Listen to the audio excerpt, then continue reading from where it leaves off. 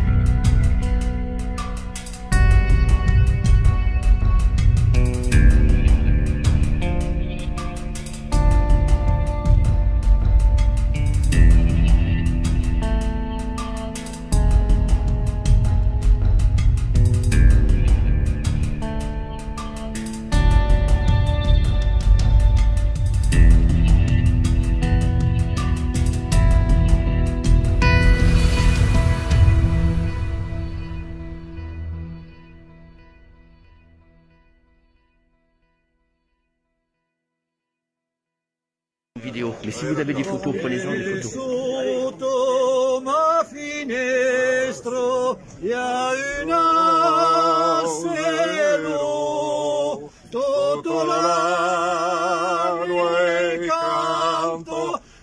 Sotto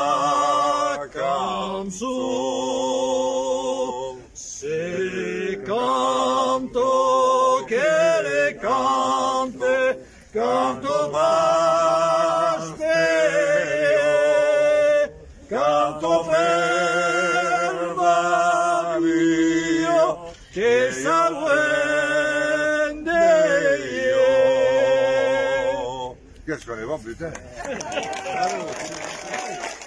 C'était évidemment l'événement de ce début de semaine, ce procès devant le tribunal correctionnel de Gap de Jean-Marie Bernard, le président du conseil départemental. Énormément de monde, des centaines et des centaines de personnes pour venir soutenir euh, Jean-Marie Bernard, ses collègues du conseil départemental bien sûr, mais également tous les éleveurs, la chambre d'agriculture, etc. Et face à eux, alors euh, on va dire quelques manifestants euh, pro-loups qui sont venus sous l'œil vigilant des, CRS qui étaient en, renfort, et eh bien qui sont venus dire leur, leur opposition à la vision des éleveurs, mais qui sont euh, particulièrement nombreux, parce que le sujet de, cette affaire de queue de loup remise à la préfète, hein, vous, vous, connaissez euh, le début de, l'histoire, il est en fait très symbolique d'un problème profond, très profond dans nos territoires, le problème des attaques de loups récurrentes, avec une situation qui n'évolue pas au fil des années, on parle toujours de plan loup et de, et de tant de choses, mais tout cela euh, n'évolue que très peu. Alors, on va évoquer ce sujet avec l'une des personnalités présentes aujourd'hui, invitée d'ailleurs par Christian Hubo, Jean Lassalle, bonjour. Bonjour. On vous avait vu il y a quelques temps dans, les foires, on avait déjà parlé de ce sujet euh, euh, du loup à Champollion, tiens, si, j'ai bonne mémoire. Euh, Jean Lassalle, vous êtes venu dire quoi aujourd'hui? Je suis venu dire que il y avait encore des hommes et des hommes politiques en France qui étaient à la hauteur des responsabilités qui leur avaient été confiées.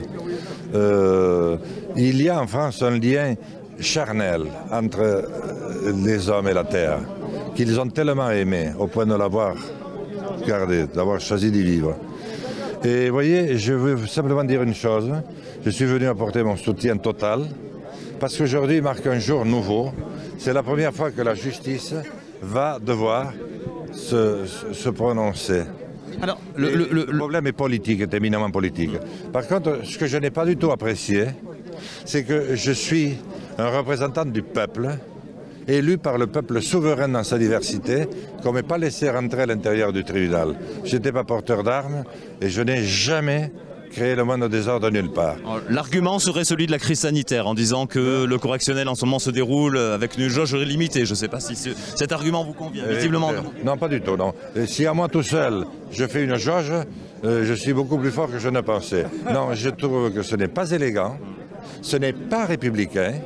Je n'en veux pas du tout à celui ou à celle qui a pris la décision. Cette décision est très politique, elle a été prise à Paris et elle ne fait pas honneur à notre pays. Voilà. pour ceux qui suivent, pour ceux qui suivent les choses d'un peu loin dans, nos téléspectateurs, Jean Lassalle est député des Pyrénées-Atlantiques, défenseur de, la ruralité. Euh, vous sillonnez un petit peu euh, la France en permanence, finalement, encore une fois, au, contact. Ce problème dans, les Pyrénées, vous l'avez beaucoup avec, avec l'ours. Euh, on l'a ici avec le loup. On voit quelques représentants, ils sont une, vingtaine des, des j'allais dire, des, des, partisans du loup, si on, peut les, les, appeler ainsi. On a l'impression qu'on en parle au fil des années, mais que les choses restent en l'état. Fait, la saison va recommencer, les éleveurs vont repartir, les, moutons vont ressortir et les brebis, etc. Et ça va se passer de la même manière. On a l'impression que c'est un statu quo. Vous avez parfaitement raison. C'est un statu quo tragique depuis euh, que euh, les loups, surtout, sont revenus en France.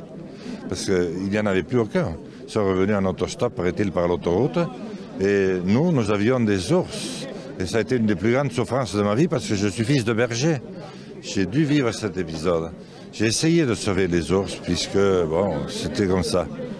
Mais euh, j'ai vu que c'était tout de suite un faux problème et que c'était un mensonge à dimension planétaire qui avait été pris en charge par les pires fossoyeurs de la nature, notamment, euh, il s'appelle, le, le, WWF, qui a été élaboré par des milliardaires américains euh, et notamment américains, pour créer des points de fixation pour que les hommes ne s'entendent pas.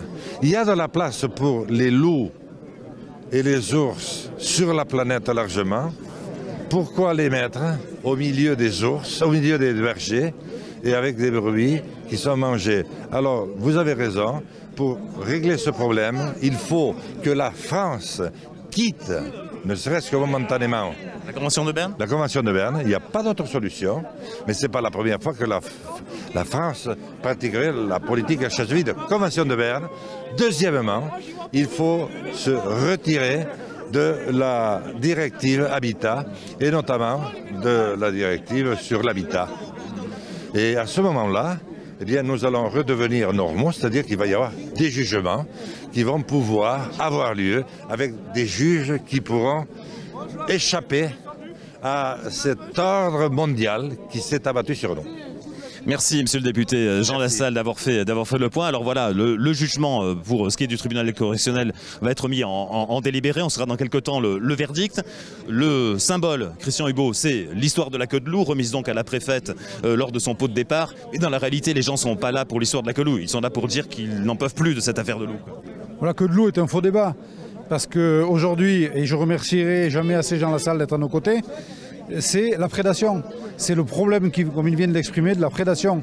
Le, problème de vivre avec le loup, euh, comme il l'a dit Jean, il y a de la place pour tout le monde.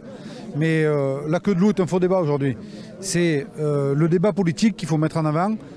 Comment on peut arriver à vivre les éleveurs, l'entretien de nos territoires, le pastoralisme et le loup et l'ours à certains endroits de la planète. C'est tout. Le débat, le, le débat s'arrêtera là. La queue de loup, c'est un- vraiment un faux, faux, faux débat. Merci, euh, merci à tous les deux. Un mot, parce que vous choisirez ce que vous voudrez après dans le. prie. Parce qu'il y a des arguments. Passe tout, on coupe jamais- rien. Non, non, non, non, mais qui ne sont jamais dit. La France est le seul pays qui continue à pratiquer le pastoralisme tel qu'il a été pratiqué depuis la nuit des temps.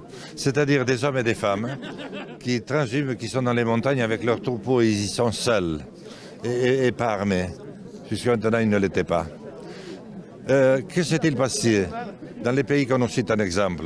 On a éradiqué les bergers. Monsieur Franco, euh, monsieur euh, le, dictateur italien, voilà, ils les ont éradiqués.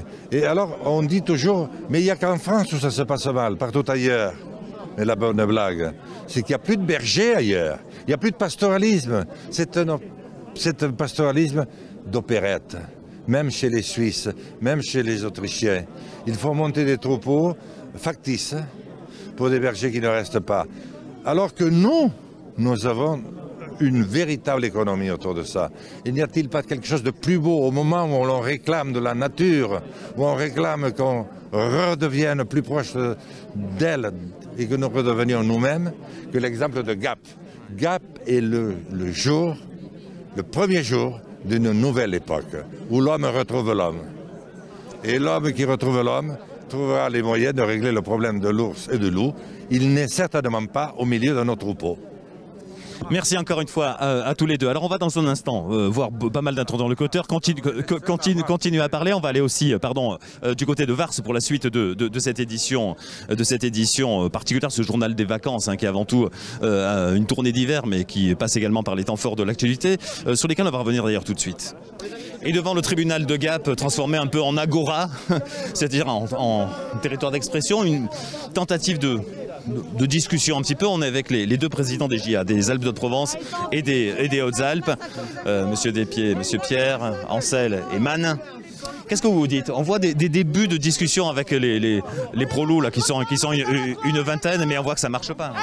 Ce qui est dommage, c'est de ne pas, de pas reconnaître la culpabilité du loup dans le nombre de victimes que l'on a sur notre département et de la responsabilité du loup sur la méthode de, ben, de la transformation de nos élevages et de notre agriculture. Et ça, c'est vraiment dommageable.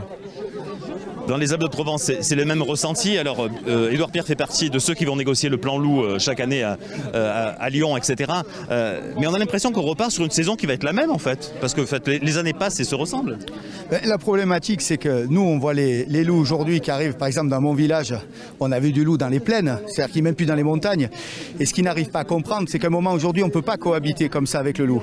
Et, euh, et je le disais tout à l'heure, on, voit quand même qu'aujourd'hui, le pastoralisme, c'est l'harmonie avec l'agriculture et l'environnement. Il faut arrêter. Bon, là, on voit qu'il y a 9 personnes qui viennent manifester. On voit qu'il y a quand même 500 personnes aujourd'hui qui sont avec nous pour défendre M. Bernard. Et je crois qu'on est, vraiment dans une, opposition politique, là, alors que nous, on est dans un choix de vie et dans un choix de défense de métier. Là, on est dans une idéologie qui n'est pas pragmatique. On voit bien dans le débat. D'ailleurs, on essaie de discuter avec eux, c'est pas possible. L'affaire de, de- la queue loup, elle, elle est simplement symbolique.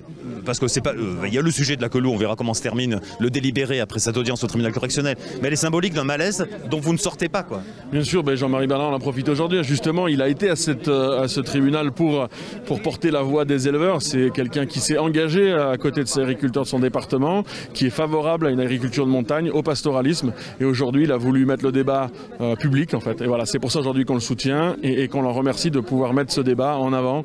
Et une fois de plus, on va reparler de la prédation, mais le compte n'y est pas. On n'est pas d'accord sur les mesures de protection, on n'est pas d'accord sur l'indemnisation, on n'est pas d'accord comment le sujet est, conduit sur, notre territoire. Et, ça fait encore une, fois partie de- des choses. Et aujourd'hui, on le met en avant et on est là pour le défendre.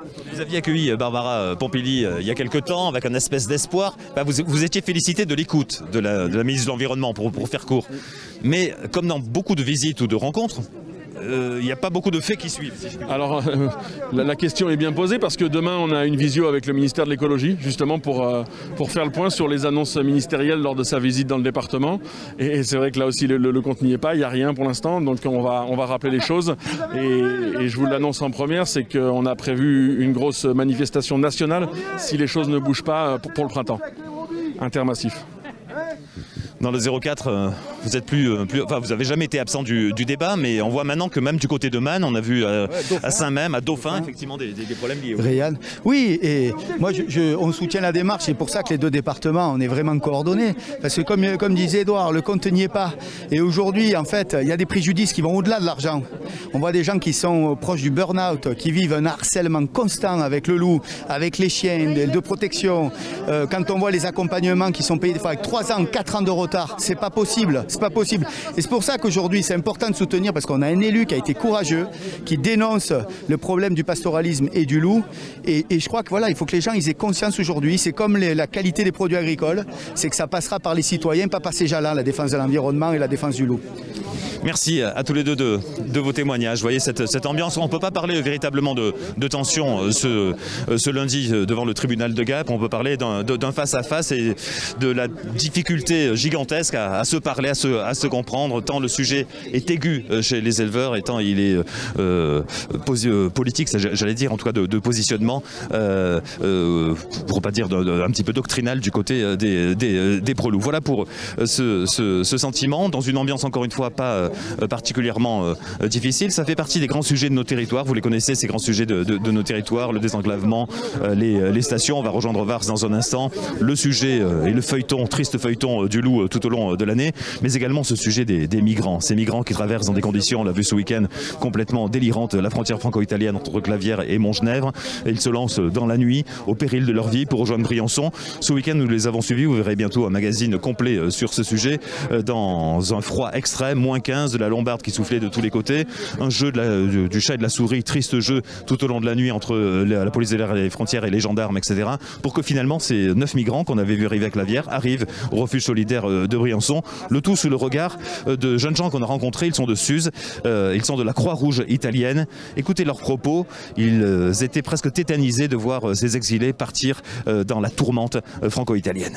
Et on en reparlera parce que chaque nuit, chaque nuit, on frôle le drame. Il y a aussi des drames et chaque nuit, on passe à côté de, de l'horreur à cette frontière euh, franco-italienne. Vous avez entendu à quel point euh, ceux qui sont sur place considèrent que, que- que c'est dangereux. Un petit mot de, de- de ceux qui euh, sont venus manifester aujourd'hui. Je ne sais pas qui souhaite dire, dire, dire un petit mot, peut-être madame. Peut-être madame. On- il y a eu un début de discussion, mais on voit qu'elle est très difficile. hein. Euh, il y a vraiment deux visions des choses très différentes. Oui, c'est exact. Mais si vous voulez, moi, la question que j'aimerais poser, par exemple, à Monsieur Lassalle, c'est comment se fait-il qu'un élu de la République défende un acte illégal? Quel est le sens de sa présence aujourd'hui? La, la légalité, vous parlez des tirs de loup, c'est ça madame? Non. Parce que les tirs de loup sont légaux, mais voilà. Je parle du fait que Monsieur Bernard ait offert une queue de loup. C'est un acte illégal. Comment se fait-il qu'il est soutenu par un élu de la République Sachant que le débat s'est élargi, on l'a bien compris. C'est les pro-loups, les anti-loups. Est-ce que c'est comme ça que vous le voyez? C'est inévitable. Euh, Écoutez, nous, nous sommes une association. Nous défendons la biodiversité et la présence du loup, la cohabitation sur tous les territoires. Il doit y avoir de la place pour le loup qui est un animal protégé par l'Europe, que ça plaise ou non.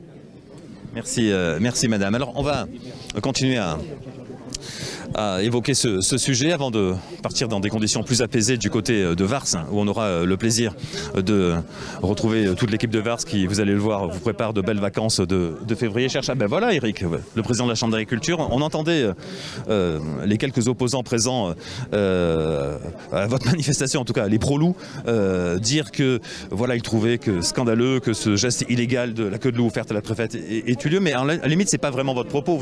C'est bien plus large ce que vous êtes venu dire ici. C'est un geste politique. C'est tout simplement le fait que notre département vit aujourd'hui une pression sans cesse en augmentation de la pression du loup sur l'élevage pastoral. Et que tout simplement, si aujourd'hui on ne fait rien, notre département va changer de visage. Il faut le savoir. C'est le recul de l'élevage, l'élevage pastoral, c'est le recul de nos territoires. Et toutes les choses vont extrêmement vite. Et aujourd'hui, le fait d'être là, c'est de soutenir le président du département qui a fait, je, je le répète, un acte politique en refusant le fait que son département devienne une réserve pour Indiens. Merci Eric Léon, on a bien fait le, le tour du sujet. On va partir maintenant, pas très loin de Châteauroux-les-Alpes, de chez vous, on va aller au-dessus là-haut, à Vars, euh, pour la suite de ce journal, pour parler un petit peu d'autre chose, parler de, de ces vacances de février qui existent sans exister, c'est drôle ou pas drôle euh, de, de vacances. Vars où vous allez voir un panel impressionnant euh, d'activités, à l'image de cette bouée euh, tractée par, par un cheval, des sensations fortes. Adrien Cito a testé pour nous. Il y a des éleveurs qui euh, vivent une vie difficile. Les prédations euh, se suivent et se succèdent. On a rappelé que dans le département l'année dernière, il y a une attaque et demie de, loup- loups par jour. Alors si on enlève un peu l'hiver, ça veut dire qu'il y a au moins deux attaques de loups tous les jours dans le département, qui se traduisent par euh, un nombre de victimes au-delà de 1500 pour l'année 2020. Bref, c'est une situation que les éleveurs, les paysans ne supportent plus. Et moi, je suis, en tant que président du département, à l'écoute de ces populations, parce qu'ils font vivre notre territoire. La biodiversité, euh, c'est important dans nos Alpes. Nous re- revendiquons cette biodiversité, cette euh, nature du département. On travaille pour cette nature tous les jours, nous, au département, tous les jours. Et il faut que ça se traduise par des, actes.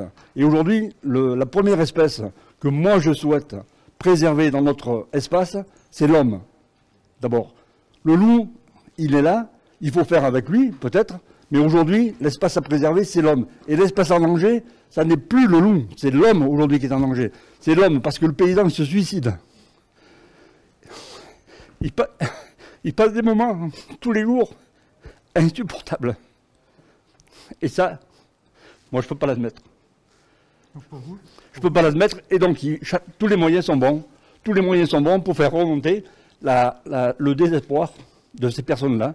Et moi, en tant que président du département, eh bien, je suis le premier, le premier, peut-être un peu écouté parce que je suis président, et je veux, et je revendique cette action politique pour euh, euh, faire sentir à tous les, à tous les représentants de, de- notre société aujourd'hui en France, ça commence par le préfet, ça passe par les élus, mais ça passe par tous les représentants des, des organisations professionnelles.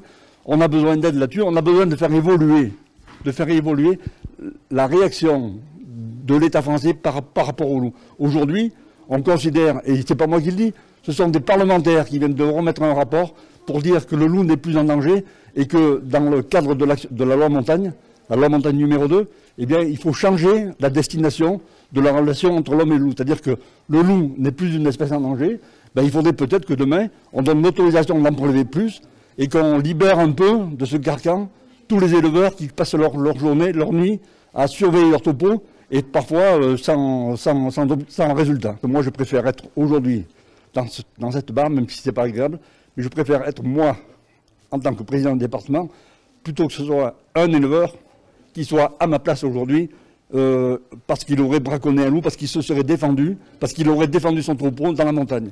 Donc aujourd'hui, euh, eh ben, c'est moi qui suis là, je, le- revendique et puis j'espère que ça sera de nature à, faire changer la vision que l'on a sur, la, sur la, cohabitation entre l'homme et le loup dans nos montagnes. On dit qu'il y a des milliers d'ovins et de bovins qui sont tués par euh, ce prédateur. On rembourse les paysans. Mais c'est pas ça le problème. C'est pas ça le problème, même si ça contribue à une partie du problème. Aujourd'hui, on a du mal à faire comprendre à tout le monde que c'est difficile de faire cohabiter des paysans dans les montagnes avec les loups. Et c'est difficile à le faire entendre. Encore plus quand on est à l'intérieur. Encore plus là-bas. Moi, j'ai cru que il y a des choses que j'allais jamais entendre. Et, et c'est comme ça. C'est comme ça. Et ce que je voulais leur dire, et ça m'a mis un peu de larmes aux yeux, je voulais leur dire que, au-delà de ces dégâts qu'on comptabilise, il y a des paysans qui se suicident. Il y a des éleveurs qui veulent plus être paysans, qui veulent plus élever des moutons. Parce qu'ils sont dégoûtés de ce qui se passe aujourd'hui. Et puis il y a aussi, il y a aussi quand même des choses qui, qui font que les familles, les familles de ces paysans, de ces éleveurs, eh ben elles souffrent. Elles souffrent. Les gosses, quand ils voient un, un mouton tué, ils font quoi? Ils font comment Ils pleurent? Ils pleurent aujourd'hui. Voilà.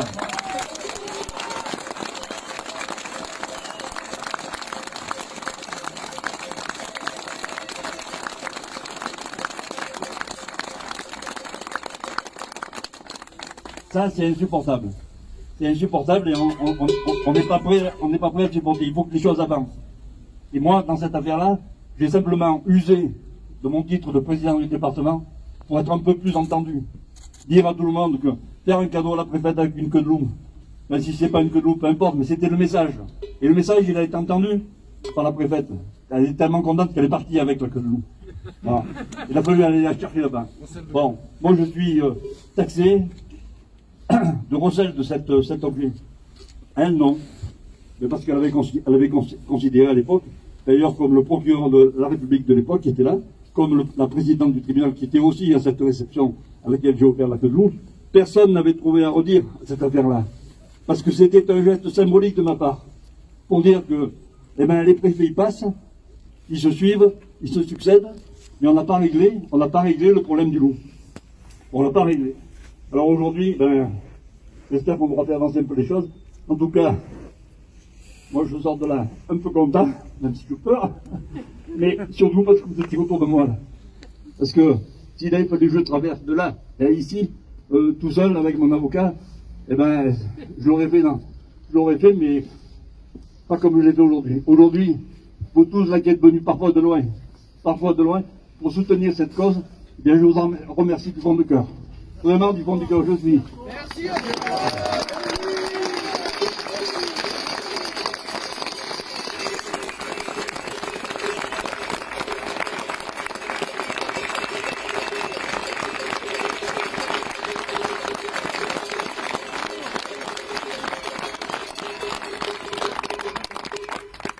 Alors, euh, ben, le verdict de cette affaire sera rendu le 12 mars. Le procureur a, a requis des mois de prison contre moi. Bah ouais. Heureusement, j'étais assis. Mais voilà.